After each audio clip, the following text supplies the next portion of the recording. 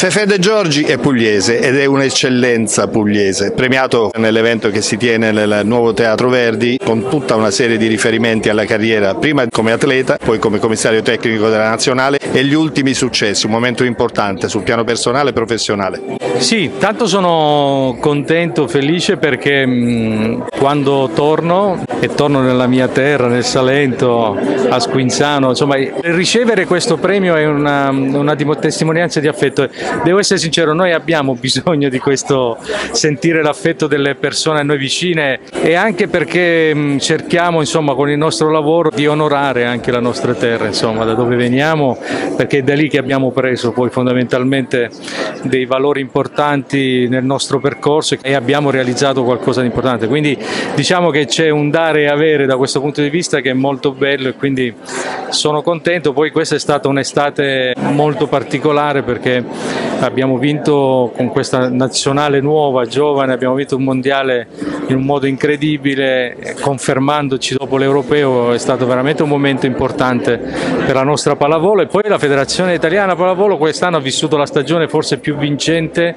eh, mai esistita perché praticamente abbiamo vinto 11 tornei fra tutti i giovanili. E poi ai vertici della federazione c'è un pugliese. E poi non so se è un caso, non lo so, non lo so se è un però caso. è un bel Ma caso. Quando è arrivato lui, lui dice sempre scherzando, cioè scherzando, cercando di sminuire, dice sai sono uno che porta fortuna. Però diciamo che questa lo sappiamo che è la giustificazione degli altri quando non trovano il motivo, no? invece è una persona che, che è cresciuta nel territorio, che è cresciuta proprio da provinciale, regionale, nazionale, quindi conosce molto bene quello che è il territorio, una persona molto competente eh, che si dà, dà, il 100% di quello che è e sono contento che da quando sia arrivato lui insomma arrivino anche tanti, tanti risultati. E poi insomma ha scelto anche un allenatore pugliese. Questo,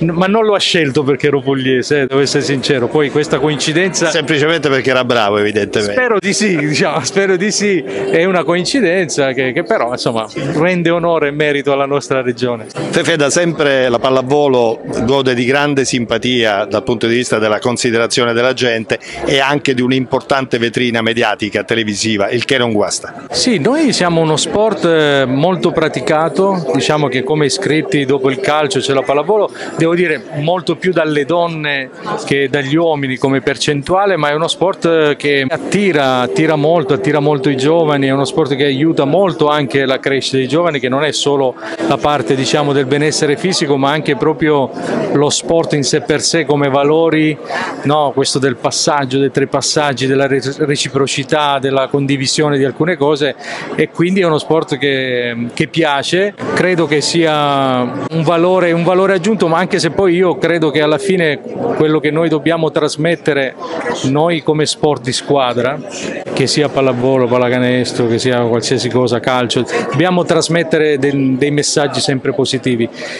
che sono legati al risultato ma vanno anche al di là del risultato. Questa diciamo, è la sfida che bisogna fare per attirare i giovani a fare sempre più sport, a praticare lo sport perché uh, è un mezzo molto efficace per raggiungere obiettivi importanti etici. A proposito di messaggi positivi, posso chiederti qual è la tua opinione sul caso Egonu? La mia opinione è che intanto non conoscendo la Egonu non, non mi sento di dire qualcosa a lei come Egonu, come, come giocatrice perché dovrei conoscerla.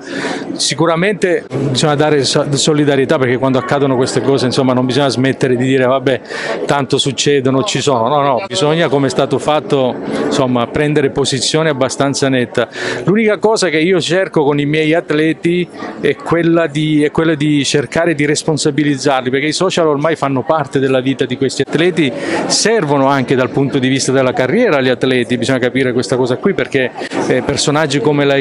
Come tanti altri pallavolisti famosi, Zeiser, questi, hanno tantissime persone che li seguono e gli sponsor si avvicinano anche per quello, cioè è tutto un dare no? e avere da quel punto di vista, però bisogna stare attenti come si utilizzano perché alla fine il passaggio è sempre lì. Hanno dei, dei vantaggi ma bisogna capire che chi fa sport ad alto livello deve conoscerli e usarli nel modo giusto, nel senso che alla fine quando sei in competizione, quello che io cerco di dire ai miei ragazzi, insomma, se non sapete gestire le critiche o queste cattiverie che a volte escono perché basta che perdi una partita e ti scrivono di tutto e allora conviene in quel momento non usarli, cioè stare, avere il focus su quello che è il, il match, quello che è il torneo e dopo usarli per quello che servono, non farsi usare,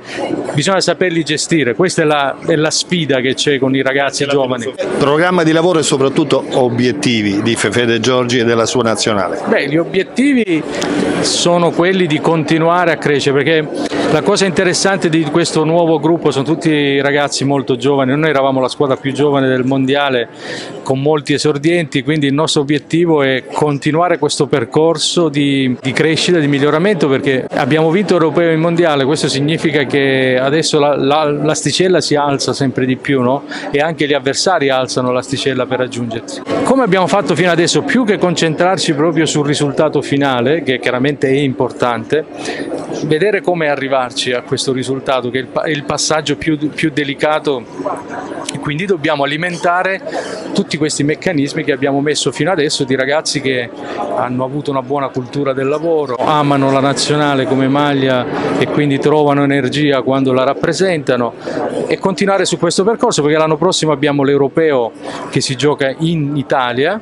quindi senza pressione assolutamente, diciamo così, e poi ci sono le Olimpiadi nel 2024 che è un po' il percorso, la parte poi di chiusura di questo mio progetto con la federazione.